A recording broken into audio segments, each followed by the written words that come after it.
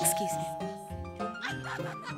Okay bye Pinky उफ वो कितनी गर्मी है। एसी नहीं है क्या? कुछ ठंडा लाओ मैं तो सिर्फ़ कोका कोला पीती हूँ। रामू एक बोतल कोक लाना। एक बोतल?